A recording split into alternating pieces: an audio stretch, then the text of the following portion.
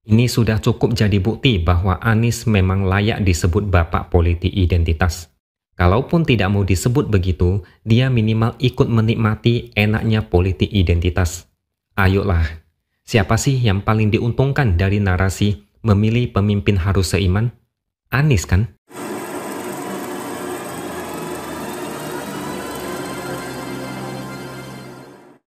Halo, bertemu lagi dengan saya X Hardy di Opini Seward. Saat Partai Nasdem masih berada di gerbong pemerintahan, partai ini masih sejalan dengan ideologi awal. Masih belum kelihatan tanda-tanda gelagat enggak beres. Ketika urusan capres-cawapres mulai panas, Nasdem mulai ambil ancang-ancang. Nasdem enggak mau ketinggalan kereta.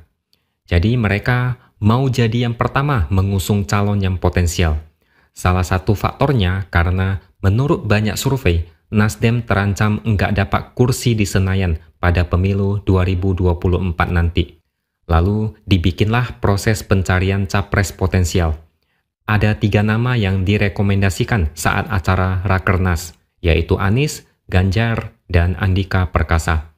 Dari hasil rekomendasi tersebut, Anies mendapatkan 32 suara DPW Partai Nasdem.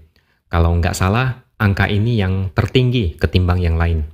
Lalu terjadilah ribut-ribut. Nasdem dibombardir dengan ribuan pertanyaan kenapa mau mengusung Anies. Nasdem dilibas habis-habisan, enggak diberi waktu untuk bernapas.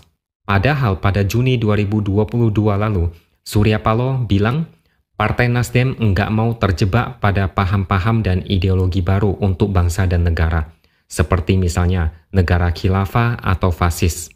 Nasdem konsisten menegakkan konsep restorasi untuk Indonesia Raya. Dia juga tegas mengatakan bahwa pemilu 2014 dan 2019 sudah cukup menjadi pelajaran tentang kelamnya politik identitas. Pemilu itu amanah konstitusional, bukan ajang adu domba atau memecah belah. Bahkan beberapa hari sebelum itu, yaitu pada peringatan hari lahir Pancasila, Surya Paloh dan Prabowo ketemuan. Jadi mereka berdua sepakat bahwa kedua partai ini sepakat menjaga stabilitas politik jelang pemilu dan sepakat mendorong kerukunan serta mencegah politik identitas. Kalau kalian masih kurang yakin ada satu lagi, politikus Nasdem yang namanya Irma Suryani Caniago pernah bilang Anies ini tokoh yang menganut prinsip nasionalis.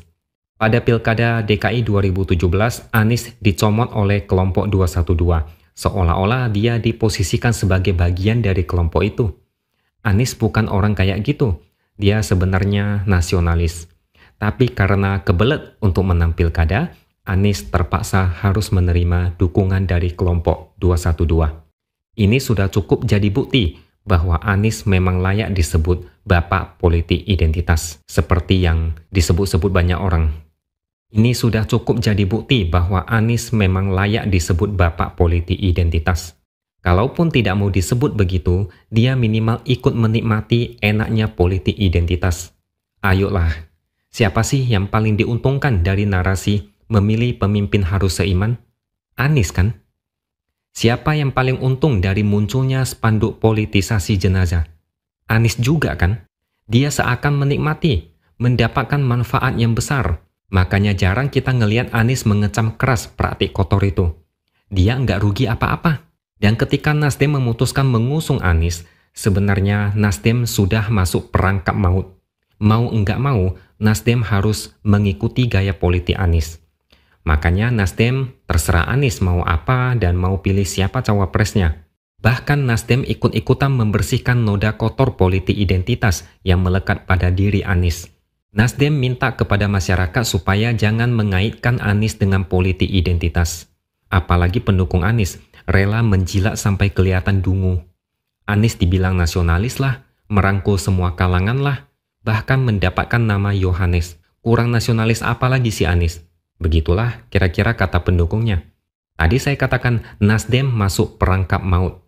Nasdem ikut terseret gaya politik Anies. Dan sekarang Nasdem malah kayak dikhianati Anies. Kenapa? Nasdem berusaha, susah payah, pontang panting, banting tulang, jungkir balik, kaki di atas, kepala di bawah, berusaha membersihkan Anies dari cap politik identitas. Tapi Anies malah kayak enggak menghargai pengorbanan Nasdem. Anies malah hadir di acara Rakernas Partai Umat yang mendeklarasikan diri sebagai partai politik identitas. Anies didukung Partai Umat dan dia merasa bangga. Artinya, secara enggak langsung, Anies enggak menolak politik identitas. Nasdem kayak dikhianati. Capek-capek mereka membela Anies dari tuduhan politik identitas. Eh, Anies malah nyemplung ke lingkaran partai yang mengusung politik identitas. Jadinya, Nasdem kelihatan kayak orang enggak penting bagi Anies. Nasdem mau gimana, Anies jalan sendiri sesuai yang dia mau. Jadi kesimpulannya sah kalau kita sebut Anies adalah bapak politik identitas. Karena enggak menolak dukungan dari partai umat. Padahal kalau mau cari aman, dia bisa aja menolak partai umat karena mengusung politik identitas. Tapi seperti yang saya bilang tadi, Anies ikut menikmati dan mungkin sangat menikmati. Politik identitas sangat gurih di negara ini. Bisa bikin ketagihan dan sulit lepas dari itu. Sekarang Nasdem bisa apa? Udah terjebak dan enggak bisa keluar lagi. Mau enggak mau, Nasdem terpaksa bermuka dua dan jadi munafik. Awalnya nolak politik identitas demi kepentingan bangsa dan negara. Sekarang apa? terpaksa bermuka tebal demi membela Anies. Buktinya ketua DPP Partai Nasdem namanya Gus Choi, dia merespon ucapan menantu Amin Rais yang menyebut Partai Umat adalah politik identitas. Menurut dia, enggak ada yang salah dengan ucapan itu. Alasannya, karena kita semua diciptakan beridentitas-identitas. Dengan beragam identitas itu, kita diperintahkan untuk saling mengenal, saling memahami, dan saling menolong untuk kemakmuran dan kemajuan bersama. Beda identitas bukan untuk saling menjaga jarak, bukan untuk saling memusuhi, juga bukan untuk saling bermusuhan dan menghancurkan. Kelihatan jelas, Nasdem terpaksa mengikuti gaya politik Anies. Nasdem sudah masuk lingkaran yang mana enggak mungkin lagi untuk keluar. Kalau Nasdem memilih enggak setuju dengan Anies, pasti akan terjadi cekcok. Anies itu keras kepala. Dia mau apa, enggak boleh ada yang bantah. Dia selalu merasa paling benar. Kalau Nasdem ikut-ikutan keras kepala dan ngotot, bisa terjadi drama laga kambing, bisa ribut beneran. Artinya, Nasdem harus melepaskan Anies, dan itu enggak mungkin terjadi. Nasdem udah terlanjur basah, enggak mungkin mundur lagi Mundur artinya cuma jadi pemain di pilpres. Jadi mau nggak mau terpaksa Nasdem bilang politik identitas itu nggak masalah. Terpaksa menjilat ludah sendiri. Mungkin malu sih, tapi terpaksa. No choice.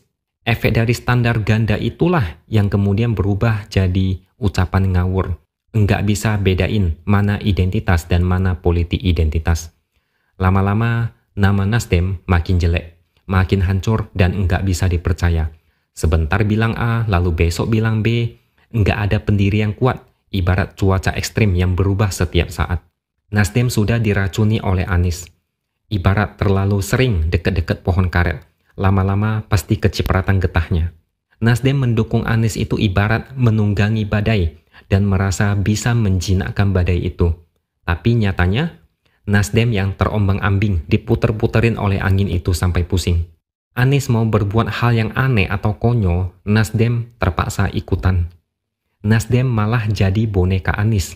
Bukan Anies yang butuh Nasdem, sekarang Nasdem yang butuh Anies. Apa pun akan dilakukan meskipun enggak sesuai dengan ideologi awal partai ini dibentuk. Coba bayangkan, kalau nanti misalnya kelompok FPI dan PA212 mendukung Anies, dan Anies enggak nolak, ya Nasdem terpaksa ikutan. Nasdem terpaksa gabung dengan mereka. Jadi lucu kan? Oke, sampai di sini dulu opini dari saya.